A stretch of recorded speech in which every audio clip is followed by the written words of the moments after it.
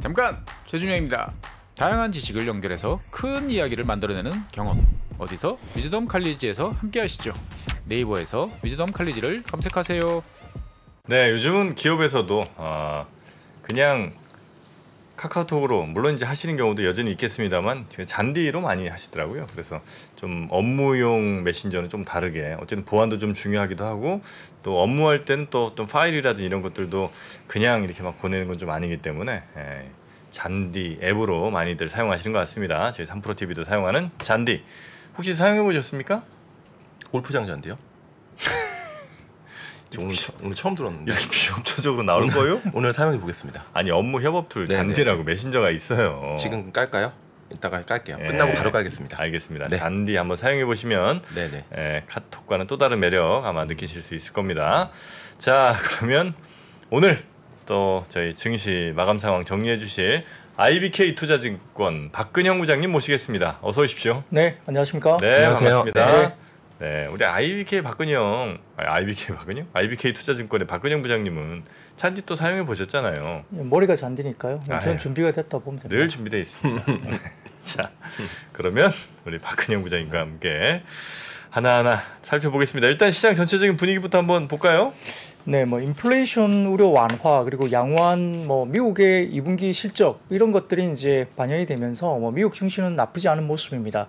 코스피도 강보합 정도로 출발을 했는데 아침 나절 외국인들은 코스피 200 중심의 매수가 들어왔고 기관은 선물 쪽만 매수가 출발됐습니다. 이후에 외국인이 잠시 선물 매수에 전환했지만은 규모가 크지 않았기 때문에 오전장에는 지수 상승 폭이 상당히 제한적이었고요. 기관도 코스닥 시장에서도 매도가 전환되면서 시장을 경계를 했습니다. 10시를 지나면서 외국인들이 코스피 200 매수세가 확대됐는데 그 시간 기준으로 본다면은 1,300 정도 이제 외국인의 순매수가 들어왔는데요. 그 가운데 삼성전자만 930억대 집중 매수가 외국인들이 들어왔죠. 이 전일 미 상원에서 500억 달러 규모의 반도체 산업 육성 법안에 대한 논의가 뭐 상당히 긍정적으로 진전됐다 이런 이야기들이 들려왔는데요. 전기전자 업종에 대한 긍정적인 영향을 미쳤습니다. 근데 뭐 따지고 보면 이 반도체 산업 육성은 인텔의 굉장히 호재인데 국내에는 사실 좀 고민을 해야 될 거리가 여러 가지 많습니다. 예, 반면 이제 인플레 우려 완화는 당연히 이제 BOJ 그리고 이제 ECB의 금리 결정을 앞두고 국채 금리 변동성 완화에 힘입어서 서비스업의 강세를 견인했는데 이 반면 경기 방어주 성격의 의료 종밀이나 의약품, 통신업종 등과 같은 부분과 경기 민감주인 운수 창고와 건설, 운수 장비, 철강 등 산업재 섹터는 좀 다소 좀 약세가 특징이었는데요. 오전 그 발표된 7월 한국의 이제 1일에서 20일까지의 수출액 예, 300 72억 달러 그리고 에, 작년 같은 기간보다 14.5% 증가했다고 봅니다. 무역 소지가 81억 200만 달러 적자를 기록했기 때문에 다소 좀 이 부분은 좀 부정적인 부분인데요. 에, 품목으로 보자면 수출 동향에서 반도체가 13.2% 늘었고요. 석유 제품이 109.7% 그리고 승용차가 15% 정도 증가한 것이 특징입니다. 이 장중 내내 좀 지지부진했습니다. 이 상황에서 크게 변화가 없었는데요. 오후 들면서 외국인 현선물 매수 규모가 증가하면서 지수 상승폭을 확대되기 시작 했습니다. 러시아의 유럽행 그 가스관인 노드스트림 1 재가동 소식이 들렸고요. 정부의 반도체 340조 원 투자 촉진 발표 그리고 현대차 2분기 약 3조 원에 가까운 영업이익 발표 등이 이제 영향을 미쳤는데 특히 이제 노드 스트림 1을 통한 가스 공급 재개는 예, 어느 정도 이제 유로화 강세 압력을 확대시키고 달러를 이제 추가 하락시키면서 원 달러 환율이 그 시간대에 뭐 1,308원대까지 하락하면서 외국인 수급에 우호적인 여건을 제공했습니다. 그래서 오늘 같은 경우에는 종가가 고점 수준에서 끝난 마무리가 된 하루였습니다. 네, 그 수출은 여튼 뭐 나쁘지 않게 나온 것 같은데 여전히 뭐 적자폭은 꽤 걱정할 만한 상황인 것 같고 역시 네. 뭐 이제 원자재 가격이 워낙 그럼요. 올라서 뭐 그런 네, 영향이 좀 있는 것 같고요. 더 많이 높으니까 네. 그리고. 자동차는 어, 현대차 실적이 매우 괜찮게 나온 거지 우리가 기대했던 것보다 네, 맞나요? 뭐 그 부분은 잠시 후에 네. 업종별로 제가 말씀을 좀 드리겠습니다. 좋습니다. 자 그리고 주목해야 될 이벤트 어떤 거 좀 짚어볼까요? 예, 역시 오늘 이제 한국 시간으로 오늘 밤 9시 15분입니다. 그 ECB 통화 정책 회의가 있는데 여기에서 이제 25bp냐 뭐 50bp냐 이런 이야기가 들리는데 사실 뭐 컨센은 25bp죠. 근데 최근에 갑자기 이제 50bp 이슈가 이제 불거지면서 이제 이야기가 되고 있는데요. 사실 뭐 50bp 인상이 될지는 모르겠습니다. 근데 이 부분이 이제 어떻게 이제 뭐 결정되냐에 따라 달러 인덱스 변화도 이제 있을 수 있기 때문에 중요한 변수로서 한번 체크볼 필요는 있겠습니다. 네. 자 그러면 어, 어떤 섹터부터 살펴보면 좋겠습니까? 네, 일단 오늘은 이제 스마트폰 관련된 쪽이 좀 이제 주목을 받았는데요. 어, 표를 좀 보여주시면 편하게 좀 이해가 되십니다. 네. 중국의 6월 스마트폰 출하량이 이제 올해 첫 전년 대비 증가했다 이렇게 이제 발표가 됐는데 이게 뭐 신영증권에서 나온 자료를 좀 따왔습니다만 이 여러 가지 이제 줄들이 있잖아요 색깔들이 있는데 이 다른 것들보다는 이제 점선으로 표시된 게 이제 2022년입니다. 이게 최근 들어서 이제 6월 달에 출하량 증가가 이제 된 부분이고요. 에, 다음 표를 보여주시면 좀 편하게 더 보이십니다. 어, 제일 오른쪽을 보시면은 이제 회색으로 보이는 게 많이 치솟아 있잖아요. 그런 부분들이 이제 이 중국의 스마트폰 출하량이고요. YOY 증감률이 이제 녹색으로 표현되는데 이게 이제 오른쪽으로 이제 턴을 하고 있는 거죠. 네. 플러스권으로 이제 증가가 되고 있는 겁니다. 그래서 이제 6월에 중국 스마트폰 출하량은 어 2,700 그 50만 대 정도 수준인데 이게 전년비 9.1% 증가이고 전 월비로는 33.7% 증가입니다. 그래서 1월부터 시작된 전년비 출하 감소가 3월에는 전년비 거의 40% 넘게 출하가 감소됐고요. 4월에는 34.4%나 감소가 됐고 5월은 전년비 9.1%로 이제 감소세가 점차 축소되는 분위기였는데 6월에 이제 전년비 플러스 전환을 한 거죠. 네. 상반기 누적 출하량은 1억 3,600만 대. 예, 시장 재고량이 많았고 코로나 19 그리고 이제 수요와 공급에 차질이 생기면서 이중고였는데요. 어, 스마트폰 산업에 대한 정상화가 이제 좀 되는 것이 아니냐라고 시장 본 것 같습니다. 그래서 어, 글로벌 스마트폰 출하량은 중국 시장 부진 때문에 상반기에 전년 대비 9% 감소한 것으로 추정이 되는데 시장에서는 이제 중국의 회복이 시작되면서 하반기에는 2.5% 증가세로 돌아설 것이다 이렇게 분석 자료를 내고 네네. 있는데 아마 이제 전체적으로 중국 제조 PMI도 5월부터 저점을 찍고 반등이 시작됐고요. 주요 IT 하드웨어 세트 중에서 가장 빠른 반등 세가 아마 IT 중에서는 스마트폰이 될 거다 이렇게 보는 것 같습니다. 아마 내구 소비재인 PC나 뭐 TV, 가전 이쪽은 상당히 한 2년간 많이 샀잖아요. 네네. 그래서 이제 증가세가 최근에 오히려 빠지고 있고 TV 같은 경우는 작년 대비로도 한 30% 이상 지금 줄어들고 있다고 이야기되는데 이 스마트폰 같은 경우는 뭐 미래 수요가 당겨진 효과가 별로 없었다. 그래서 기저도 상당히 편안한 섹터다 이렇게 이야기가 되고 있는 것 같습니다. 그래서 이제 최근에 보면은 중국의 상반기 최대 온라인 쇼핑 행사 기간 뭐 6.18을 이야기하는 것 같은데 네. 3일 동안 애플이 아이폰 13과 프로 모델을 총 700만 대 넘게 판매했다고 합니다. 스마트폰 부분에서 1위인데 이 샤오미하고 오포, 비포 예, 비보죠. 이렇게 이제 기타 브랜드를 합쳐서 이 로컬 브랜드들이 1,400만 대 정도밖에 못 팔았거든요. 다 해서. 근데 아이폰 13 프로 모델 총 합해서 이제 700만 대 넘게 판매했다니까 상당히 이제 성장성은 아이폰에서 나왔다고 볼 수 있습니다. 전체 다 해도 1,400만 대인데 그중에 네. 700만 대 이상을 아이폰을 팔았다. 뭐 전체적으로 그렇죠. 그러니까 네. 어, 스마트폰 전체 판매량 수치도 작년 대비 25%나 크게 감소했는데 유일하게 애플 아이폰만 여전히 높은 판매 수량을 보여줘서 수요가 여전히 이제 아이폰이 굉장히 강하다. 네. 어, 중국 시장에서 확인을 시켜준 겁니다. 그래서 이제 오늘 같은 경우에는 이제 특히 이제 중국 쪽에 이제 exposure가 있다 그래서 이제 많이 빠졌던 삼성전기가 어, 최근에 이제 주가가 많이 역시나 안 좋았는데 예, 12개월 forward PER이 뭐 PBR도 어, 5년 내 바닥권까지 빠졌었죠. 그래서 어, 중국 스마트폰 산업 개선이 이제 좀 주가에 긍정적으로 영향을 미치면서 삼성전기가 바닥권에서 오늘도 괜찮았고요. 네. 중국 쪽에서 이제 점유율 높여가면서 역시 이제 아이폰 관련주로 이야기되는 LG 이노텍이나 BH 이런 종목도 괜찮았는데 역시 이제 아이폰 내에서 대면적 모델인 프로 그리고 이제 프로맥스 판매 비중이 지속적으로 커지고 있습니다. 12 시리즈는 이제 이 모델들이 48.7% 그리고 13 시리즈는 54.4%까지 커지고 있어서 RFPCB에 대한 뭐 단가가 훨씬 높아진다 이렇게 보고 있습니다. 그래서 BH 관련된 부분들이 오늘도 괜찮았는데 네, 네. valuation이 뭐 올해 기준 한 6배 언저리 뭐 7배 좀 안 되는 부담이 없는 가격 이렇게 이야기되고 있어서 BH도 조금은 이제 회복될 것으로 보고 네. 있는 상황이고요. 얼마 전에 그 아이폰 뭐 애플이 인력 줄인다 이런 뉴스가 살짝 있으면서 이 LG 이노텍이랑 BH 뭐 이런 친구들이 조금 안 좋았었잖아요. 네, 사실 뜯어보면 이제 기존에 뭐 어떤 그 인력을 많이 줄인다는 게 아니고요. 신규 채용에 대한 부분들을 좀 보수적으로 간다는 건데 뭐 그래도 어, 애플 같이 이제 제일 잘 나간다고 생각하는 회사가 이렇게 뭔가 인력에 대한 조정을 한다고 하니까 네. 조금 놀란 부분이 있습니다만 중국 시장의 수요는 여전히 견고하다. 그리고 대만의 애널리스트 고명치도 이제 그런 이야기를 했거든요. 그 PC나 뭐 아이패드 이런 쪽 관련된 부분에서 이제 주- 조금 줄이는 거지 이 스마트폰 쪽에 줄이는 건 아닌 것 같다라고 이제 고명치도 그렇게 이야기를 했기 때문에 아무래도 이제 하반기 아이폰 관련된 수요는 견조할 것 같고 그래서 이제 관련주는 어느 정도 이제 어, 주가가 회복을 할 거다 이렇게 시장은 보는 것 같습니다. 근데 중화권 업체는 워낙 지금 안 좋다고 제가 말씀드렸잖아요. 네. 그래서 고민이 많기 때문에 아이폰하고 이제 스마트폰으로 격돌하기보다는 오히려 이제 XR 확장 현실 기기라든지 뭐 foldable 이쪽에 조금 더 이제 비중을 많이 차지하지 않겠느냐 시장은 좀 그렇게 보는 것 같아요. 물론 이거는 이제 하나의 전망인데요. 그러다 보니까 이제 foldable 관련 업체라든지 XR 부품 업체 뭐 이런 종목들에 대한 부분들을 좀 살펴볼 필요가 있다. 이런 전망도 있는 것 같습니다. 네. 자 그리고 어, 역시 이제 중국의 IT 기기 수요가 좀 늘어나면 이제 반도체도 굉장히 또 긍정적인 영향을 받게 마련인데 일단 뭐 자동차부터 좀 한번 또 살펴보죠.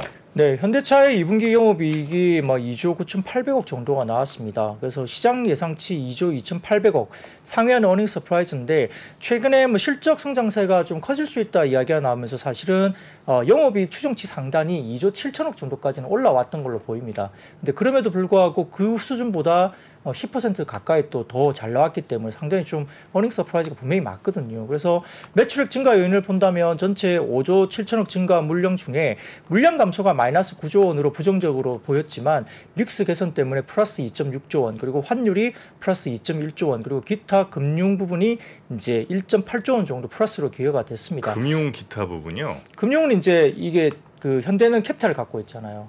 예. 그러니까 이제 뭐 거기에서 이제 뭐 할부라든지 이런 거래를 하니까요. 뭐 그런 부분도 있는 거기도 것꽤 많이 1조 8천억 원이면 꽤 되네요. 이제 뭐 우리가 살 때 이제 전부 다 현금으로 다 주고 사지는 않으니까요. 음, 예, 그렇습니다. 그렇죠. 그리고 예. 환율이 2조 원 넘게 네. 플러스가 됐고요. 네, 네, 그렇습니다. 아, 그럼 어마어마하게 earning surprise 나온 거는 맞지만 환율이 꽤 큰 역할을 해준 거네요. 나 이거는 이제 제가 매출액 기준으로 말씀드린 거고요. 음. 이익단은 좀 다릅니다. 아, 그건 좀 예, 다르고요. 예, 그래서 네. 이제 그 표를 보여주시면 좀 이제 표시가 날 것 같은데요. 그 지금 이제 왼쪽으로 보시면 영업이익 쪽에 보이는데 이제 각 해마다 이제 영업이익의 추이를 보여주는 분기별로 추이가 있고요. 빨간색으로 표시된 왼쪽에 보시면 이제 영업이익 규모가 규모도 커지고 그다음에 1분기 대비 2분기도 더 올라간 모습을 보이고 있고요. 음. 네. 오른쪽에 영업이익률 추이를 보면 이제 확실히 영업이익률도 많이 올라간 모습이 보이고 있잖아요. 그러니까 이제 전체적으로 볼륨도 커지고 이익률도 좋아지는 그림이 보여지죠. 그래서 이 그림은 이제 세종기업 데이터라는 쪽에서 제가 하나 따온 그림인데 다음 표를 보여주시면 영업이익의 주요 그러니까 증감 사유 분석이 이렇게 나옵니다. 그래서 가운데 이제 네모난 박스를 보여주시면 왼쪽에 막대 그래프하고 오른쪽 막대 그래프 보면은 이제 왼쪽보다 오른쪽이 더 많이 올라왔는데 이게 이제 어떤 부분에서 더 올라왔느냐를 보여주는 표인데요. 그 영업이익에 대한 증감 요인을 보면 전체 1조 천억 정도가 이제 증가 분이 이제 이전보다 더 많이 생겼는데 물량 감소 때문에 마이너스 0.18조 원 그리고 판관비 증가가 마이너스 0.4조 원 정도 부정적으로 기여를 했지만 인센티브 감소를 포함한 mix 개선이 1.03조 원 정도 그러니까 1조 원 이상 이제 mix 개선 때문에 나왔다 그리고 네. 환율 효과가 플러스 0.64조 원 그러니까 6,400억 정도죠 그리고 금융이 이제 한 600억 정도 수준으로 기여를 했기 때문에 네. 대부분 이제 mix 개선과 환율 가격 효과인데 말씀하셨듯이 이제 전반적으로 어, 환율의 효과도 분명히 있었고요. 이 인센티브가 이제 역사적 최저치까지 계속 빠지고 있는 부분 때문에 인센티브에 관련된 믹스 효과도 충분히 감안했다는 점에서 어, 이익을 볼 수 있습니다. 근데 좀 아쉬운 것은 이제 영업이익이 이렇게 잘 나왔는데 장중 마이너스에서 플러스 뭐 한 1, 2%까지 플러스가 나오다가 종가 무렵은 거의 보합 수준으로 이제 마무리가 됐으니까 이제 약간 좀 아쉬운 부분이 분명히 있죠. 역대급으로 잘 나온 실적인데 아직 시장에 대해서 이제 뭐 자동차 섹터에 대한 부분들이 물량이 많이 이제 좀 기존에 예, 물려있던 물량 부담도 좀 있었던 것 같고요. 두 번째로는 이제 아까 말씀드렸던 2분기에 너무 좋았잖아요. 그러니까 뒷단에 이제 다음 분기나 그 뒤에 이 가수요가 다른 부분들이 이제 과연 지켜질 것인가 이게 수요가 금리가 빨리 올라가고 이 미리 이제 잡혀있던 수요가 좀 꺼질 수 있는 우려 이런 부분들에 대한 생각들이 아직은 좀 있는 것 같습니다. 네. 그러니까 이제 아, 장중에 조금 차익 실현이 좀 많이 나왔잖아요. 이제 그런 부분은 여러 가지가 이제 있을 수 있는데 어, 이미 이제 consensus는 2조 중반이었지만 음. 이제 street consensus라 그래가지고 이제 매니저들 사이에서는 이미 어느 정도 2조 후반까지 예상했던 음. 측면이 좀 있었고요. 네. 그래서 그런 측면에서 일부 실현이 나왔는데 내용을 보면 내용 자체가 괜찮아요. 그래서 음. 그냥 오늘 실현 던질 사람 던진 거니까 오늘 뭐 장중에 어 고점 찍고 내려왔다고 해서 그거 자체를 크게 뭐 하이라이트 하실 분은 없을 것 같습니다. 음. 그리고 이제 두 번째로는 이제 1시 반에 실적이 나오는데 네. 이 현대차는 항상 이제 엠바고를 걸고 이제 배포를 해요. 근데 그런 엠바고 같은 거는 좀 지켜줘야 되는 건 부분이 있는데 보니까 점심시간부터 살살 오르더라고요. 저는 그래서 잘 나오겠구나 생각은 들었어요. 그냥 이거는 뭐 직감적인 건데 약간 이제 그거는 그 작은 몇 분의 그 시차 같은 거는 사실은 되게 뭐 어떻게 보면은 되게 예민할 수도 있고 그러니까 언론사들의 실적을 이제 미리 뿌리는데 원래 그렇습니다. 그다음에 이제. 보도 시점을 예를 들면 1시 반 이렇게 지켜달라 그렇죠. 이렇게 하는 그래서 거죠. 그래서 엠바고가 있는 거잖아요. 근데 그것이 슬슬 센것 같다. 아니 생것 같다는 아니고 네. 그러니까 주가의 흐름을 보면 약간 이게 그런 오해를 할 수도 있겠다는 생각이 듭니다. 예. 그래서 이제 했겠지. 음? 아니 그거는 뭐 단, 단언하긴 힘들죠. 근데 아무튼 그런 부분이 있고 네. 그러니까 뭐 우리가 이제 기아도 이제 실적이 내일 나올 텐데 네. 뭐 물론 좋을 거고 근데 중요한 점은 이제 자동차 쪽 마진인데요. 마진이 거의 뭐 7% 후반 나온 거거든요. 사실은 굉장한 마진입니다. 아, 이 그래서 정도면 네. 현대차가 정말 정말 싸게 차를 잘 팔 잘 팔았을 때가 2010년 초반인데 네. 이때 이제 8, 9% 이익을 내고 음. 그때 이제 현대차 시총이 그 한 60조 거의 뭐 이 정도까지 갔다가 음. 뭐 그때 20 한 한 30만 원 넘었을 거예요 제 기억에 갔다가 이제 쭉 빠진 건데 거의 마진이 한 2, 3%까지 빠진 거거든요. 거의 low single까지. 음. 근데 지금 다시 이제 7% 후반으로 몇 년 만에 복귀했다는 건 되게 의미가 네. 있고 음. 이제 환율이 6천억이나 붙었기 때문에 이제 환율 때문에 이거 오는 거 아니냐. 그럼 환율 음. 빠지면 또 빠지겠지. 물론 살짝 빠지겠지만 그 mix가 좋아진 거를 좀 보시면 좋겠어요. 그러니까 회사가 지금은 옛날에는 싼 차를 어 좋은 차를 싸게 판 거고요. 지금은 좋은 차를 제값을 받고 팔고 있는 겁니다. 음흠. 그래서 조금 rerating이 됐다고 저는 보고 있고요. 근데 주가는 지금 아무튼 경기 둔화를 우려하잖아요. 우리가 음. 매크로적으로 그러다 보니까 조금 오르면 팔겠다는 시- 아직은 차익 실현 요구가 많지만 저는 뭐 이런 어떤 매크로적인 우려가 많아되면은 이런 실적은 분명히 하이라이트 될 거라고 좀 보고 있습니다. 네. 그 이제 워낙 이 자동차 쪽이 움직임이 없었기 때문에 이제 기존에 보유하던 사람들이 이제 좀 팔았다 생각도 들고 네네. 두 번째는 이제 글로벌 재고 수준이 이제 지금 한 39일 정도 자동차 쪽에 있다고 하는데요. 현대차 같은 경우는 한 7일 정도 그리고 기아가 한 13.9일 정도니까 재고 수준이 글로벌 기준으로 봤을 때 엄청나게 낮게 있는 거죠. 그러니까 그만큼 잘 팔리기도 했고 그다음에 인센티브가 역사적으로 그럼에도 불구하고 이제 가장 최저치가 계속 빠지고 있는 상황이기 때문에 네. 믹스 개선이 이제 이익률이 올라가는 그런 모습을 보이고 있어서 이제 가수요가 빠진 것에 대한 우려 그러니까 2분기가 피크아웃이 될 수 있다는 생각도 할 수 있잖아요. 음. 이제 그런 부분들 때문에 조금 주저하게 되는데 아마 다음 분기까지 이렇게 재고가 너무 낮고 이런 부분들이 다음 분기에도 실적이 괜찮게 나와주면 시장은 좀 신뢰를 할 수 있지 않을까 저는 개인적으로 좀 아직까지는 긍정적으로 볼 필요가 있다 네. 이런 생각 을 갖고 있습니다. 네. 오늘 이제 주, 주가만 보면 이제 움직이지는 않았군요. 그대로 현대차는 18만 9천 원. 네, 마이너스 갔다가 네. 이제 중간에 잠깐 올랐다가 점심 시간에 그러다가 이제 다시 차익 실현 나왔죠. 실적 나오고서. 네. 아 근데 그 아까 말씀해주신 엠바고도 뭐 생각해 보면 그 언론사들이 이제 잘 지켜야 되는 건 맞는 거긴 한데 야 이거를 주가에 어쩌면 영향을 줄 수도 있는 이런 거를 언론사에 미리 주면서 몇 시까지는 지켜달라고 하는 게 사실 지키기가 좀 어려운 것 같기도 해요. 뭐 정치적으로도 그런 거 많이 엠바고 뿌리고 정책 발표하고 예. 뭐 그런 거니까 그런 잠깐의 시차가 있으니까 사실은 그거는 어떤 언론에서 잘 지켜주는 게 맞죠. 음, 그 기본적으로 그게 맞는데 네. 이 정도면 차라리 그냥 현대차가 딱 그냥 그 시간에 언론사에 뿌리는 게 낫지 않을까? 음. 왜냐면 이제 그걸 언론사 워낙 언론사들이 요즘 워낙 많고 이제 뭐 속보 경쟁도 많고 뭐 하다 보니까 예 언론사 한두 개 세네 개만 우리가 잘 지키면 되는 게 아니고 이제 정말 모든 언론사들이 다 지켜야 되는 음. 거잖아요. 그런 건 차라리 그냥 현대차가 그 시간에 맞게 뿌리는 게 낫지 않나 하는 생각도 살짝 들기도 합니다만 뭐 그건 네. 잘 모르겠습니다. 자 그리고 2차 전지 한번 볼까요?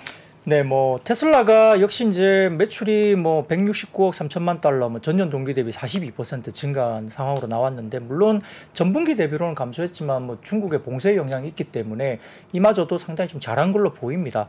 순이익도 전기차 가격 인상에 힘입어서 지난해 2분기 11억 4천만 달러에서 올해 2분기 22억 6천만 달러니까 거의 뭐 배 가까이 있는 거잖아요. 그래서 상당히 좀 잘하고 있다. 그래서 2분기 조정 순이익 EPS도 뭐 시장 전망치보다 상당히 잘 나왔습니다. 표를 보여주시면 최근에 이제 capacity 그러니까 이제 예, 그 테슬라가 할 수 있는 어떤 부분들을 보여주는데 제일 위쪽에 보시면 캘리포니아 쪽과 관련해도 지금 어 65만 대를 이미 이제 어느 정도 한다 이렇게 보여줄 수 있고요. 상하이 capa도 지금 75만 대 이상 올라오니까 캐파가 상당히 많이 올라오고 있어서 상당히 뭐 자신감 있게 지금 만들어낸다. 그리고 어, 지난번 보면은 이제 6월 달만 보더라도 이제 지금 역대 월간 최고치까지 계속 만들어내고 있잖아요. 네네. 최고되고 그래서 상당히 지금 테슬라가 일단 잘하고 있다는 정도는 보입니다. 그리고 이제 오늘 장중에 이제 삼성 SDI가 원통형 배터리 수요 대응을 위해서 이제 말레이시아 이 공장 어, 건설 착수 그러니까 1조 7천억 정도 들여서 한다 소식이 또 나오면서 결국 이제 시장에서는 원통형 배터리 관련된 어, value chain들이 좀 더 좋았습니다. 그래서 에코프로 BM도 마찬가지였고요. 상신 EDP라든지 그다음에 신흥 SEC, TCC 스틸 이런 종목도 괜찮았고 그 외에도 뭐 PNT란 장비 회사라든지 캠시스 이런 종목들도 예, 주로 이제 뭐 원통형 value chain 이외에도 조금 움직였는데 알루미늄 control arm을 이제 테슬라에 독점 공급하고 있는 센트럴 모텍이라는 회사도 있는데 이 회사도 이제 좀 시장에서 오늘 어, 부각을 나타냈고요. 이제 전체적으로서는 최근에 아무래도 원통형 배터리 관련된 쪽을 좀 주목을 많이 한다는 느낌을 좀 받고 있는 상황입니다. 알루미늄 control arm은 뭐예요? 공장에 쓰는 건가 차에 쓰는 건가 모르겠네. 뭐 하여튼 뭐 이렇게 알루미늄으로 된 뭔가 조종하는 뭐 이런 거 이런 거겠죠? 네. 부품으로 생각하시면 될것 네, 같습니다. 알루미늄 control arm. 아, 이걸 이제 테슬라에 독점 공급하는 회사가 있군요. 네. 자, 그리고 어, LG 화학이 오늘 뭐 좀 움직임이 있었습니까? 네, 역시 이제 그 부분 때문에 같이 좀 첨가해서 가져와 봤는데요. LG화학이 오늘 한 5% 이상 주가가 올라온 걸로 제가 봤습니다. 그 지난주에 이제 국내 시장 약세 영향도 있고 해서 이제 5% 넘게 하락을 했었는데 최근에 4거래일 연속 상승세를 보였습니다. 어, 특히 이제 외국인 순매수가 3일째 지속 중에 있었고요. 어, 최근 이제 주가 강세의 큰 배경은 이 화학 업종 내에서 그래도 양호한 실적이 나올 거다 이렇게 컨센이 뭐 되고 있는 것 같은데 이 대부분 이제 2분기 화학 업종 전반적인 부분들은 수요가 워낙 약세이기 때문에 예, 대부분 업체가 화학 업종들은 컨센서스 하회가 예상됩니다. 예, 한편 이제 LG화학 같은 경우는 영업이익이 이제 삼성증권 추정 기준 을 본다면 9,410억까지 추정이 되어 있는데요. 어, 시장 컨센 대비 5% 이상 어, 상회할 것으로 전망되고 있는데 역시 이제 배터리 소재인 양극재 사업 수익성 추가 개선이 이 수- 화학의 수익성 하락을 상쇄하면서 시장의 컨센을 뭐 넘어서는 그런 실적이 나온다. 이렇게 해서 약간 차별화된 실적에 대한 부분들이 부각이 된 것 같습니다. 네. 특히 이제 지난주부터 오늘까지 발표된 국내 양극재 업체들이 대부분 다 실적이 전부 컨센을 상회하고 있습니다. 어, 7월 13일 발표한 에코프로 BM은 컨센서스를 약 51%나 상회했고요. 네. 어, 오늘 같은 경우 코스모 신소재도 컨센서스를 5% 상회한 실적을 발표했고요. 음. 그다음에 이제 메탈 가격에 대한 노출도가 큰 어, LG화학 같은 경우도 어, 어, 첨단 소재 이 사업부가 경쟁사 대비 컨센서스 상회 폭이 훨씬 크다고 이제 이야기가 되고 있어서 LG화학이 다소 이제 화학 섹터 중에서도 약간 차별화되는 모습 때문에 오늘까지 좀 좋은 모습을 보였다 이렇게 분석이 되고 있는 상황입니다. 그러니까 지금 화학이 제가 저번에도 한번 말씀드렸는데 네. 다안 좋아요. 모든 제품이 좋은 제품이 하나도 없습니다. 그동안 버텼던 소다, 그다음에 PVC도 다 꺾였어요. 음. 그 최근에 중국도 지금 중국도 약간 가동률을 올라 올리고 있거든요. 코로나 이제 봉쇄가 좀 끝나가지고 음. 그러면서 그 좋았던 ECH도 망- 망가져가지고 롯데 정밀도 그래서 실적 부담이 좀 있는 거고. 그러면 LG 화학도 사실은 ABS가 주력이에요. 근데 ABS는 아시겠지만 가전에 많이 들어갑니다. 지금 가전 수요 demand 완전 꺾였잖아요. 그래서 ABS가 지금 한다 BEP일 거예요. 적자 아니면. 네. 그럼에도 불구하고 이제 LG 화학이 화학 왜 좋냐면 LG 화학은 specialty 이거 말고도 굉장히 많은 specialty가 있습니다. 음, 음. 그뭐 2차 전지에 들어가는 것도 있고요. 뭐 봉지 같은 거 있어요. POM 같은 거. 뭐 그런 부분들이 있기 때문에 그리고 두 번째는 B2B가 많습니다. 얘네는 네. 직접 소비자가 쓰는 그쪽이 아니라 다 B2B가 많기 때문에 음. 가격의 어떤 그 압- 하락 압박에서 조금은 자유롭다. 그래서 제가 이제 제 기억에는 언제나 장이 안 좋을 때는 LG 화학이 항상 선방을 했던 것 같아요. 음. 네, 그래서 그런 또 추억도 있고 해가지고 뭐 이번에도 실적 선방을 좀 할 것 같고. 네, 두 번째 이제 얘네도 양극재를 하잖아요. 네. 양극재 캐파가 이제 2026년도에 26만 톤이 넘을 겁니다. 26에서 30만 톤 사이거든요. 음. 근데 보통 이제 이 정도 캐파를 하는 BM 이런 애들이 12조예요 시총이. 네. 그렇기 때문에 양극재만 해도 시총이 10조 이상의 밸류를 줄 수 있다라는 논리가 적용되니까 사실은 뭐 LG 엔솔의 지분 가치를 7, 80% 할인해도 음. 지금 가격적으로는 불편하지 않다는 게 좀 깔리면서 오늘 주가 반등이 좀 있었던 것 같습니다. 네, 네. 자, 그리고 어 알루미늄 컨트롤 암은요. 그 자동차 구동 장치와 이제 타이어 사이를 연결해 준 조향에 도움되는 그런 이제 부품인 모양입니다. 이게 이제 차량 경량화를 위해서 이제 알루미늄 만드는 게 굉장히 요즘 뭐 어, 중요하고 부가가치도 좀 나오는 모양인데 어, 현대차, 기아차 또 테슬라 등의 독점으로 공급하고 있는 게 아마 아까 말씀해주신 그런 회사가 하는 역할이었던 것 같습니다. 찾아보니까 이렇게 나오네요. 자 그리고 어, 유통 쪽 한번 살펴볼까요? 네, 뭐 어제 이어서 유통이 오늘도 좋았죠. 근데 뭐 제가 보기에는 이틀 정도 올랐으면은 조금 경계해야 된다 생각은 듭니다. 그 말, 아, 아시다시피 이제 대형마트 관련된 의무 휴업 폐지 가능성 이 부분인데요. 오늘 제가 그 국민 우수 제한 관련해서 이제 이게 들어가 보니까 네. 오늘부터 이제 거기에 이제 좋아요 이렇게 찬성 이렇게 여러 가지 누르는 게 시작됐거든요. 아. 예, 그래서 10개 이제 우수 제안이 이제 선정이 됐는데 그 중에서 오늘 아침 기준으로 봤을 때 제가 보니까 월등하게 이제 대형마트 의무휴업 폐지가 월등하게 좋아요는 많더라고. 물론 이제 첫날 오전이니까 뭐 그게 달라질 수 있습니다만 뭐 다른 것들은 뭐 뭐 몇백 건 안 되는데 뭐 이것 같은 경우는 뭐 천 건, 천오백 건뭐 이상 이상 막 나오니까 상당히 좀 월등하게 오전 중으로 봐서는 상당히 좀 높은 것 같습니다. 그래서 네, 월에 뭐 1, 2회인가 이렇게 쉬어야 되는 거죠? 예, 그래서 이제 주말 네. 이제 관련된 의무 휴업이죠. 그러니까 음. 이 주말만 해도 이제 이 여러 가지 오는 계획이 되게 많잖아요. 네, 개수가 네, 그렇기 네, 때문에 네. 그러한데 물론 일부에서는 그렇습니다. 뭐 그렇게 안 사면 또뭐 온라인으로 시키는 거 아니냐부터 해서 뭐 많은 음. 이견이 좀 있을 수 있는데 근데 과거에 보면 이 여러 가지 부분에서는 좀 이제 확실히 예, 주말에 이제 한 이틀 정도 쉬니까 떨어지는 건 분명하게 나온 거거든요. 그래서 이번에 이제 이게 만약에 된다고 하면 5% 이상 최소한 이제 뭔가 올라온다 매출이나 이익들이 올라온다 이런 이야기를 하고 있는 것 같은데요. 이제 아무래도 이제 이게 어, 결정이 된다 하더라도 그다음에 네. 이제 국회 입법에 대한 절차가 또 필요하다고 해요. 음. 그러니까 이제 당장 뭐 한두 달 내에 이게 뭐 바로 바뀌고 이건 또 아니라고 그러거든요. 그러니까 사실은 이게 기대감 때문에 이제 주가가 올라온 거고 뭐 EPS 관련된 효과가 어떻다. 이건 제가 어제 방송 때 이제 그건 이미 이제 이 부분을 말씀을 드렸는데요. 음. 말씀드렸듯이 이게 당장 실행될 수 있는 건 아니기 때문에 네. 조금 이틀 정도 주가가 많이 올라온 것은 조금 경계를 할 필요가 있다 이런 생각은 들고요. 다만 이제 롯데쇼핑 같은 경우는 이번에 이제 2분기 실적이 조금 턴을 한다 이런 이야기가 계속 들리고 있어서 좀 그런 부분도 어느 정도 반영이 되고 있는 것 같고 또 롯데쇼핑은 이제 영화 한산 이 이제 롯데 컬처웍스가 이제 그 배급사거든요. 음. 그래서 뭐 어제 말씀드렸지만 하늘에는 탑건이 있고 바다에는 한산이 있다. 시사회에서 상당히 호응이 좋았다고요. 아, 그렇습니까? 예, 뭐 아. 최근에 외계 플러스 이는 약간 호불호가 갈리고 있는데 네, 네. 한산에 대한 기대감은 상당히 좀 높은 편인 것 같습니다. 음. 그래서 이 배급사 관련된 부분들이 롯데쇼핑과 연관이 있어서 조금 더 주목을 받고 있는 상황입니다. 네, 아, 한산. 네. 아니 이마트 말씀 좀 네네. 잠깐 드리면요. 그 이마트가 이제 한 매장이 한 160개 정도 됩니다. 160개고 이제 하루 매출이 300억이에요. 아, 그 대형마트가 160개 있어요, 우리나라에. 이마트만.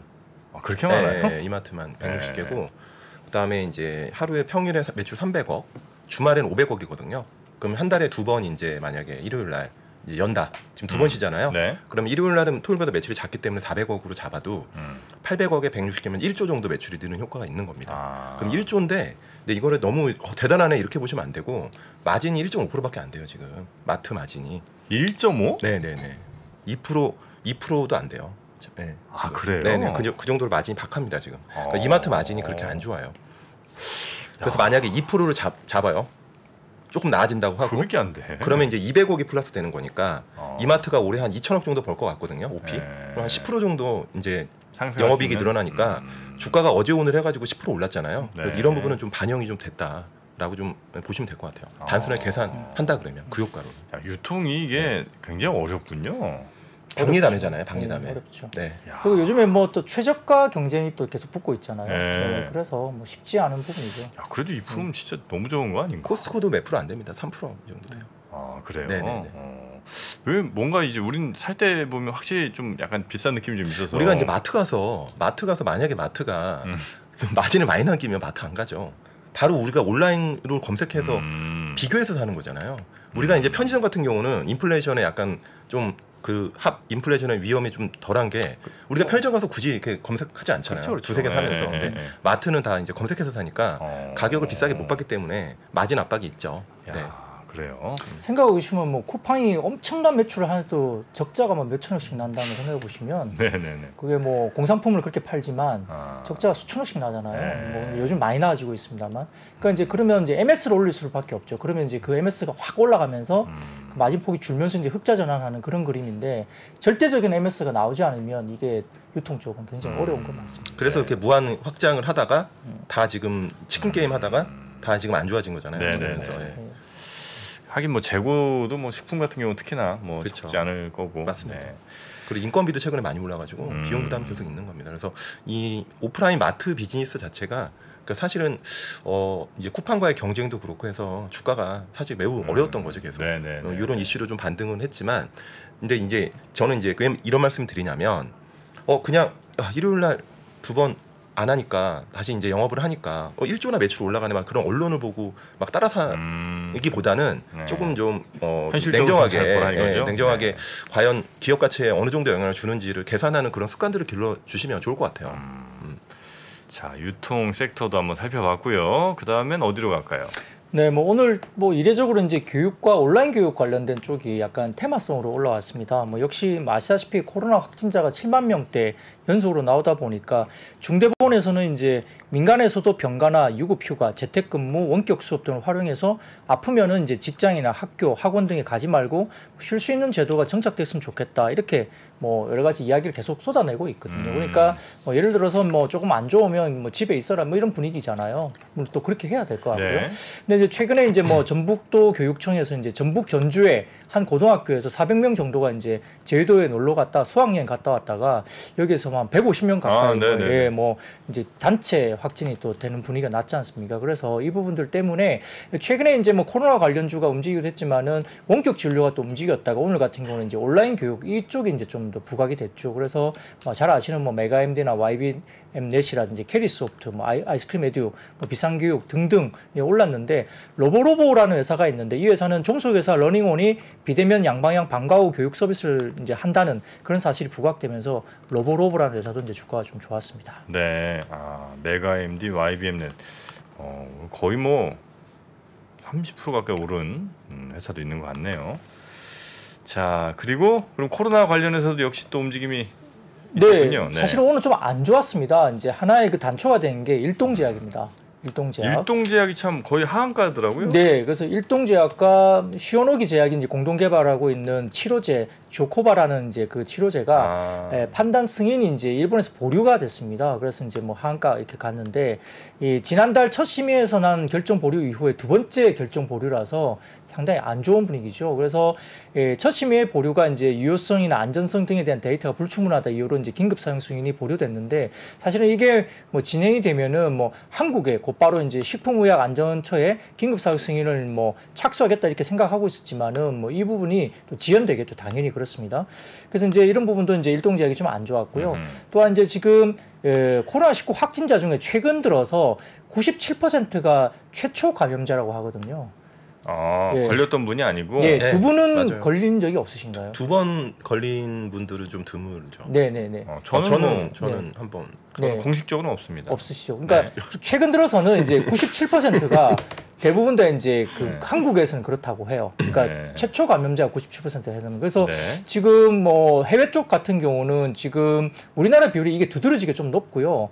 어, 미국이나 영국 등에서는 재감염자가 한 20%까지 나온다고 하니까 음. 우리가 조금 더 높은 편입니다. 최초 감염자가. 음, 그래서 네. 이런 부분이 있는데 이제 하나증권에서는 이제 리포트가 나오면서 이걸 좀 조금 이제 그 보수적으로 보자는 거예요. 왜냐하면은 과거처럼 관련주의 힘이 그렇게 세지 않을 거다. 왜냐하면 과거에는 이제 최초의 어떤 뭐 임상이나 여러 가지 겪어보지 못했던 두려움이라든지 그때 당시에 또 풍부한 시장의 유동성 때문에 주가들이 많이 뛰었지만은 음. 최근 같은 경우는 뭐 두려우냐? 그렇지는 않다는 거죠. 뭐 사실 그런 부분이 많이 지나갔고요. 유동성 측면에서도 많이 이제 지금은 다르다. 그리고 예, 최근에 이제 뭐 8월 달에 한 30명, 30만 명 가까이 올라올 거다 이야기하지만 그때 당시에 최초에 이제 최저치였던 62만 명 그에 비하면 그렇게 높은 편도 아니라고 이제 하기 때문에 결국은 과거에 이제 코로나 초창기 같은 이러한 그 코로나 관련주들의 어떤 퍼포먼스가 되기는 좀 힘들다 이렇게 분석을 아예 냈습니다 자료로 그렇기 때문에 그러니까 이제 제가 좀더 음. 첨언을 좀 드리면 정말 어, 저는 더- 거의 한 200% 동의하고요. 네. 그러니까 지금 최근에 코로나 확진자 뭐 엄청 늘고 있잖아요. 뭐 네, 7만 명 네. 그렇게 되는데 우리가 이제 투자할 때는 좀 냉정하게 봐야 되거든요. 음. 그러니까 여러분들이 이제 이미 뭐 여기서 추가적으로 만약에 거리 제한을 다시 하거나 만약에 그런 상황이 나오지 않는다고 봤을 때는 실제로 여러분들의 행동은 그렇게 제약은 가지 않을 것 같아요. 그래서 제가 말씀드리고 싶은 거는 최근에 그 리오프닝도 많이 빠졌잖아요, 주가가. 근데 너무 겁낼 필요는 없는 것 같아요. 그 확진자 늘은 거에 뭐 그런 뉴스 보고서 헤드라인 보고서 음. 어, 다 끝났네 이렇게 보시기보다는 오히려 차분하게 좋은 가격대 오는 것들은 좀, 어, 좀 저가 매수도 괜찮지 않을까라는 생각이 들고요. 제가 이제 어제 좀 체크를 해봤더니 음. 강원랜드 같은 경우는 일 매출이 계속 늘고 있더라고요. 강원랜드. 네네네 아. 오히려 그리고 최근에 파라다이스 같은 경우도 일본인들 VIP들 꽤 들어오고 있습니다. 네, 그러니까 사실은 우리가 이제 확진자 막 늘면서 어 다시 옛날처럼 돌아가나 막 이런 생각하면서 최근에 뭐 과- 관련된 과- 종목도 되게 많이 올랐잖아요. 음. 그런 뭐 진단 키트 이런 애들. 근데 이제 그런 것들은 뭐 차치하고 실제로 이제 어떤 기본적인 어떤 그 reopening 관련 음. 우리의 여가나 이런 거는 어 조금씩이라도 올라가고 있습니다. 근데 음. 이제 안타까운 건 이제 해외 여행은 생각보다는 demand가 좋진 않대요. 음. 왜냐하면 제가 볼 때는 이 코로나 때문이 아니고 네. 가격이 너무 비싸다는 겁니다. 항공권 음, 가격이. 음. 예전에는 뭐 어, 유럽 노선이 100만 원 때문에 했는데 지금 300만 원 가까이 하니까 네, 네, 네. 실제로 약간의 수요 저항이 있다고 합니다. 음. 그런 부분 좀, 어, 네. 좀 아시면 좋을 것 같아요. 근데 이제 아마 걱정하시는 분들은 그런 것도 있는 것 같아요. 지금 이제 7만 대까지 올라왔는데 예전에도 막 사람들 막 늘어날 때 에이 설마 여기서 얼마나 늘겠어 하다가 어어 하다가 막 몇십만 명 나왔잖아요. 그래서 이번에도 지금 7만 대인데 사실은 검사도 아마 요즘은 예전처럼 그렇게 빡세게 하지 않고 그냥 어지간하면 안 하시는 분들도 많이 계신데 이 상황에서 만약에 정말 좀 더 심각하다 싶어 갖고 제대로 검사하고 뭐 이러다 보면 또 한 20, 30만 이렇게 만약에 나오면 아무리 저 과거로 돌아가기 힘들다 하더라도 예를 들어 좀 뭐 정부 입긴 그래도 좀 갈 수 있는 무슨 강원랜드 같은데 네. 그런 데들은 좀 어쩔 수 없이 닫을 수도 있지 않나 이런 걱정들 아마 그럴 수 하시는 있죠. 것 같아요. 만약에 뭐 네. 수십만이 나온다고 하면 그러니까 네. 그런 것들을 걱정하시는 이제 게 아닌가. 생활소에서 지금 생각해 보면 제가 작년 8월에 델타에 이제 확진을 했거든요. 네네. 그때 이제 되게 아프셨을 텐데 델타. 델타를 겪었는데 그 한 8일 정도 이제 그 이렇게 다른 쪽에 가가지고 좀 따로 격리가 돼 있었어요. 근데? 그때 예, 네. 뭘 어떻게 했나 제가 경험상 보면은 딴 네. 거 없고요. 열이 만약에 난다 그러면 해열제를 주는데 저는 뭐 열이 그렇게 심각하게 안 났고 네. 대신에 이제 기침이나 가래나 이런 게 있으니까 그 저걸 주는데 그때 콜데원을 주더라고요. 콜대원? 예, 빨아먹는 이렇게 음. 그 스틱처럼 생긴 아, 그 콜데원. 애들 거 아닙니까 그거? 근데 그게 뭐 애들 건지 어쩐지 모르겠지만 이제 그냥 빨아먹는 거담제 같은 거거든요. 아. 예, 그 콜데온을 해서 이제 제가 그때 이 콜데온이 어디 건가를 보니까 대원 제약이로 돼 있죠. 음. 당연히 대원 제약이죠. 네. 그래서 아 이거 수요가 되게 많아지겠네. 뭐 그런 생각을 하는 거예요. 그러니까 만약에 확진자가 많이 생기면 뭐 과거처럼 뭐 네. 어떻게 할지 모르겠지만 결국은 먹는 건 이제 콜대원 같은 그런 거담제나 뭐 음. 해열제 뭐 이런 걸 먹는 거거든요. 그러면 이제 단기적으로는 어떤 제약사 중에 뭐 그와 관련된 이 확진자 증가에 따른 어떤 그런 수요는 분명히 그런 게 있을 수 있다. 음. 그런 쪽에서는 그냥 생활 속에서 한번 생각해 볼 만한 하나의 팁일 수 있는 거죠. 네, 콜대원 성인용도 다 있는 모양입니다. 네. 자 그리고 어, 토스 관련해서도 어, 이슈가 좀 있었군요. 네, 뭐 토스 운용사 비바 리퍼블리카가 이제 3천억 규모 투자가 확정됐고요. 예, 관련된 부분들은 valuation이 이제 8조 2천억을 소폭 상회하는 규모로 어쨌든 뭐 투자가 확정되었습니다. 그래서 예, 투자자가 이제 초기에 이제 성장부터 함께했던 알토스 벤처스가 천억 신규 투자했고요. 네, 굿워터나 그다음에 그레이하운드 등 해외 주주도 투자에 나섰고 국내 같은 경우는 KDB 산업은행, 그다음에 광주은행이 각각 천억과 200억 정도 투자가 됐고요.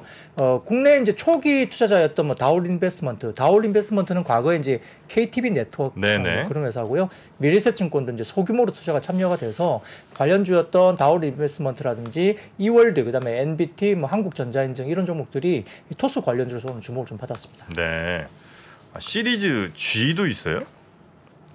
시리즈 뭐 보통 이제 우리가 A, B, C 뭐 이렇게 이제 전 들었던 것 같은데 네. 계속 받다 보면 시리즈 G, 뭐 F, 뭐 H 뭐 이렇게 쭉 가는 모양이죠? 네, 뭐 잘 안 되면 그런 거죠. 아, 그, 계속 받기만 하고 왜냐하면 IPO까지 안 가, 못 가니까 계속 그렇게 되는 거죠. 아 네. 그래요.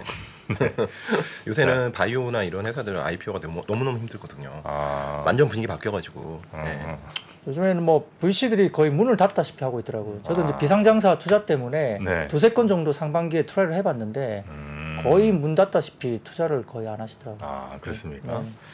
야, 그런 회사들도 뭐 쉽지 않겠네요. 자 그리고 풍력과 태양광 신재생 쪽은 어떻습니까? 네, 뭐 조 바이든 대통령이 이제 멕시코만 등 풍력 발전 강화, 지역사회 재난 대응 지원 등을 골자로 한 그 새로운 기후 변화 대응 행정 조치 계획을 발표한 것으로 알려졌습니다. 그래서 예, 이제 우선 이제 23억 달러 규모의 뭐 연방 재난 관리청 자금을 투입하면서 어, 기후 변화나 고온 현상에 대처할 시세 투자에 나서겠다 이렇게 되는 것 같고요. 멕시코만 인근에 70만 에이커 규모의 부지에 풍력 발전 시설을 건설하겠다 이렇게 말을 한 것 같습니다. 애초에 이제 이야기됐던 그 국가 비상사태 선포까지 이제 검토했지만은 사실은 뭐 의회 협상이 이제 난항을 겪을 것으로 보면서 불발됐고요. 비상 상황으로 규정하는 수준에 그친 거로 보입니다. 그래서 오늘 이제 풍력과 태양광 관련주로 엮여 있는 코론 글로벌, 삼성엠텍, 세진중공업, 나노신소재, 현대에너지솔루션, 뭐 SK D&D 이런 종목들이 주목을 좀 받았던 하루였습니다. 나노 신소재가 풍력 태양광이랑도 관련이 있어요? 연관이 되어 있습니다. 어 그렇군요. 네. 아 그럼 뭐 저 뭐야 어디 어디죠? 그 윈드 CS 윈드는 뭐 별 움직임이 없었나 요? 갖고 계신 모양이죠. 아이 고맙습니다. 네. 자 그리고 또 어떤 섹터요? 예, 마리아나 관련주인데요. 뭐 국내 같은 경우에는 뭐 마리아나가 사실은 조금 생소하잖아요. 네. 예, 저는 이제 그 대학교 그 2학년 때 이제 유럽 아 해보셨어요? 예, 여행을 갔을 때안 아유, 해봤고요. 네. 네덜란드라는 그 나라를 가니까 암스테르담을 가니까 네. 그때 당시가 이제 90년대 중반 이 정도였거든요. 대마초 카페 있죠 거긴. 네, 거기서 네덜란드 암스테르담 가니까 저희는 이제 뭐 풍차만 생각하고 엄청 음. 예쁜 나라로 생각하고 유럽 여행을 그때 90년대 중반에 배낭 하나 메고 아주 즐겁게 갔는데 네. 가니까 막 길에서 막 마리아나 팔고 막 이러더라고. 그래서 음. 그게 이제 합법이래요. 거기는 또 그때. 당시에도 그래가지고. 태국도 이번에 합법화됐습니다. 예, 그래서 네. 깜짝 좀 놀랐습니다. 이렇게 이렇게 말아서 이렇게 피는 뭐 그런 음. 데에다가 이제 마리아나를 길에서 이렇게 그냥 와가지고 팔더라고요. 그래서 아. 깜짝 놀랐는데 어. 이제 그게 이제 미국 쪽에서도 최근에 이제 민주당이 상원에서 마리화나 대마초 합법화 법안을 네네. 발의할 것으로 보이는데 사실은 지난밤 뉴욕 증시에서 어, Canopy Growth라든지 Tilray 그다음에 GrowGeneration 그 다음에 Cronos Group 그 다음에 Aurora Cannabis 같은 마리화나 관련주들이 급등세를 나타냈습니다. 네네네. 뭐 심하게는 뭐 17% 이상 올라갔고요. 이런 것 때문에 이 대마초 관리 및 기회법이라는 게 있는데 이제 여기에서 결국은 이제 약물 관련된 목록에서 마리화나를 제거한다고 합니다. 그래서 이런 부분들 때문에 전체적으로 지금 하원에서 대부분의 민주당 의원들 지지를 받아 220대 204로 통과가 됐고요. 이 관련해서 이제 이 법안의 주요 후원자 중 한 명이 의장을 맡고 있는 상원 분과위원회가 다음 주 중에 대마초 개혁과 범죄와 해악에 대한 청문회를 가질 것으로 예상되고 있어서 관련주로서 뭐 우리바이오나 메디콕스, 화일약품, 마이더스 AI 등의 주가가 움직였던 하루였습니다. 네. 냄새가 많이 나죠. 몰라요, 전 안 해봐가지고요. 아니 그 하시는 분들 옆에 있었으면 그뭐좀 피했죠. 네. 뭐 그러게 좀 그때는 되게 저도 네. 이제 나이가 20대였고 겁나서 90년대 중반에 네. 그걸 제가 이제 길에서 막 이- 이런 걸 판다고 생각하니까 몰랐지 뭐 그때는 그죠? 예, 겁나서 이제 도망 다니고 이제 네. 몰래 몰래 돌아서 막 다녔는데 몰래 몰래. 예. 예, 길에서 이렇게 그냥 편하게 와서 파시더라고요. 네. 내밀면서 이거 얼마다 살래 이렇게 하니까 너무 어려서 뭐 모르고 한 거지 뭐 그죠? 아, 그때는 저는 정말 네. 뭐 괜찮습니다. 몰랐죠. 네, 뭐 몰라서 한 거니까. 한 적은 없습니다. 네. 자, 그리고 어떤 섹터 또 볼까요? 네, 뭐 전체적으로 지금 그 인터넷 대표주나 영상 컨텐츠가 여전히 이제 넷플릭스 실적에 대한 안도감 그리고 미국의 기술주 강세 이런 걸 힘입어서 뭐 오늘 네이버나 카카오 등과 관련 인터넷 대표주도 괜찮았고 대형 미디어나 뭐 콘텐트리 중앙 뭐 스튜디오 산타클로스 등 영상 컨텐츠도 좋았는데요. 뭐 우영우 신드롬에 이어서 최근에 또 영화 관련된 쪽도 뭐 대작들이 또 이제 연달아서 계속적으로 지금 나오고 있잖아요. 그래서 네. 영화 관련된 쪽에 관련된 여러 가지 이슈도 있어서 뭐 최근에 보면은 뭐 덱스터를 포함한 그 여러 가지 뭐라 그럴까요? 이게 영상 VFX 이쪽도 상당히 좀 주가가 움직이는 게 보이거든요. 음, 음. 위지윅스도 마찬가지고 그래서 이런 섹터들이 최근에 좀 움직임이 단기적 좀 괜찮은 모습입니다. 네. 아, 우리 탁프로님은 오늘 혹시 좀 주의 깊게 살펴보신 섹터가 좀 있습니까? 아니면 뭐 시장의 특징이라든지 뭐 이슈 같은 거 혹시 아 이거는 오늘 시청자분들이랑 한번 얘기해 보면 좋겠다 싶은 뭐 이런 게 혹시 있었을까요? 얘기 뭐 중간 중간에 다 드리긴 했는데 네. 어, 저는 아무튼 한국 증시에는 반도체가 매우 중요하잖아요. 네. 근데 이제 그 삼성전자랑 하이닉스 주가 움직임에 굉장히 음. 좀 많이 어좀 음, 워칭을 합니다. 주의 깊게 특히 네. 요즘 같을 때는. 근데 사실은 반도체 헤드라인을 보면 뉴스를 보면 좋은 건 하나도 없어요. 여전히 디램 가격은 계속 spot은 빠지고 빠질 빠지고 있고 음흠. 어, 고객들의 움직임은 전혀 뭐 없고 재고는 네. 뭐 많다고 하고 근데 이제 주가는 왜 바닥에서 지금 10%가 올랐냐? 음. 그러니까 제가 계속 말씀드리지만 그 선반영이라는 게 어, 이 equity market을 투자할 때는요. 네. 이 선반영을 이해를 진짜 많이 하셔야 돼요. 그냥 지금 세상이 망할 것 같죠. 근데 어느 순간 부지불식간에 주가는 굉장히 많이 올라와 있을 수도 있습니다. 지금 뭐 V자 반등한다는 말씀은 아니고요. 그래서 반도체 주가가 여기서 만약에 어, 추가적으로 다시 하락한다 그러면 다시 뭐 저점을 깰 수도 있습니다. 근데 음흠. 지금 아무튼 이런 악재들을 소화하고 있는 과정이거든요. 네. 악재들을 이 소화를 하는 과정들을 유심히 보시고 음. 전자가 이제 전자나 닉스가 가격 레벨을 네. 가격 조정이 아니고 물론 오르다가 당연히 차익 실현 나오면서 빠지는 구간이 있을 겁니다. 근데 그게 장중 조정으로 마무리되거나 네. 기간 조정으로 가면서 과열을 시키거나 음. 한다 그러면은 시장의 컬러가 바뀔 수 있는 거거든요. 음. 그래서 반도체 주식들을 참 유심히 좀 보시길 어, 저는 좀 이거 네, 말씀드립니다. 기간 조정인지는 어떻게 알아요? 뭘 보면 기간 조정이에요? 가격 조정은 가격이 다시 6만 원 갔다 5만 원 가는 거고요. 네. 어, 기간 조정은 6만 원에서 전으로 왔다 갔다 하는 거죠. 그러면서 과열을 시키는 거죠. 지금 아무튼 시- 거의 한 7, 8% 올랐잖아요. 하이닉스는 저점 대비 10% 넘게 올랐어요. 네. 8만 원 중반에서 지금 네, 네. 10만 원 넘어갔으니까.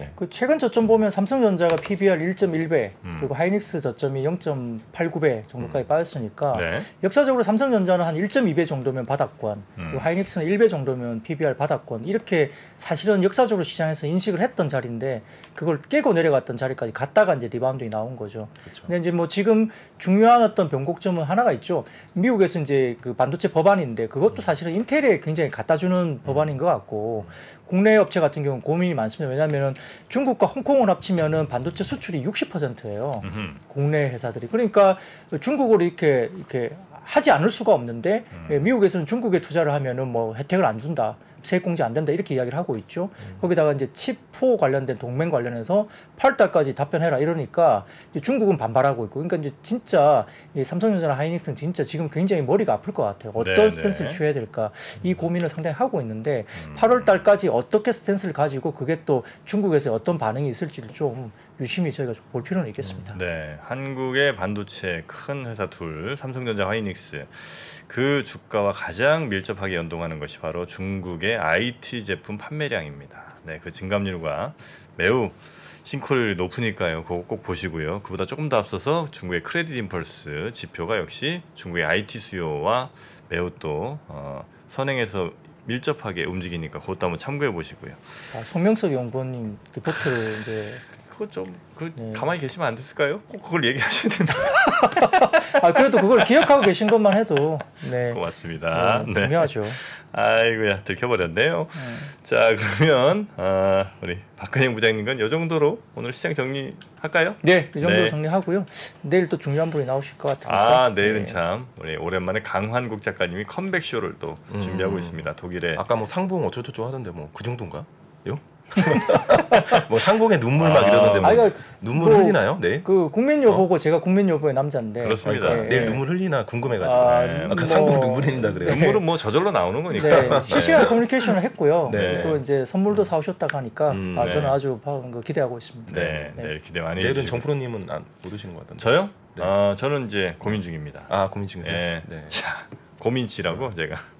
고민 씨 배우 이름인데요. 자 우리 함께 해주신 IBK 투자증권의 박근영 부장님 대단히 고맙습니다. 네, 감사합니다. 네. 네. 미국, 중국, 러시아 뭐 이런 나라들의 움직임에 대해서 관심이 어느 정도 생겼는데 거기에서 우리는 과연 뭘까? 우리는 체스판의 말이 아니다라는 생각을 좀 해야 좋겠어요. 어떻게 생각하세요? 우리 편 누굴까를 좀 더 고민할 수 있지 않을까 싶어요. 뒤집어 질문을 해보면 그러면 아시아에는 우리 친구가 있을까요? 제가 지구본 연구소 진행하면서 사실은 되게 마음에 좀 걸리는 이만한 수- 짐이 하나 있어요. 우리 옆에 있는 동남아를 내가 모른다. 우리가 처해 있는 아시아라는 지역을 자꾸 방관하고 유럽이나 미국의 어떤 시각에 맞춰가지고 그런 이제 개별적인 지식 이런 것들이 어, 묶여가지고 큰 흐름들을 만들어내는 이야기 그런 경험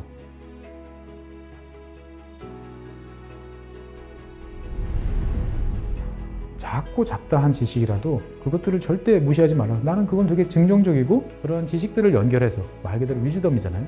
정말 현명해지고 뭔가 남들하고는 좀 차별화된 그러한 관점 그리고 그러한 비전